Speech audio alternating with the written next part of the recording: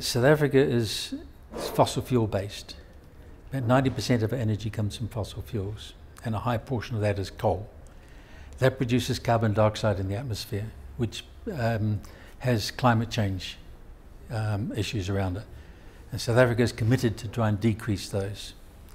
And we can do that by energy efficiency and renewable energies, which we have quite vigorous programs at the moment being run by the Department of Energy. And nuclear is a possibility as well, but that's not on the table at the moment, I understand. But the other alternative is to capture the carbon dioxide and use it, or to store it.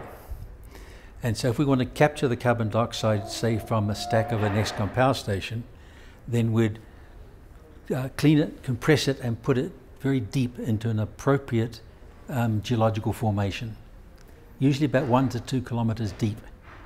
And it's a porous rock with a, um, a, an, an, impermeable cap which stops the, the carbon dioxide coming back to the surface. And that we can store, and that is a standard international technology, which we are in the process now of trying to develop in South Africa. And our first step is to have a look at um, storage. Because if we don't have storage, we don't have car carbon capture and storage. The, the, the, second part of utilization we, we actually do use uh, carbon dioxide in South Africa at the moment. It's but it's very small. It's only about 200,000 tonnes per year. And that goes into the um, food industry. And if you take you put carbon dioxide into things like a can of soft drink, um, that's not permanent storage. Because after you've drunk it, you burp it out again. And so it goes into the atmosphere.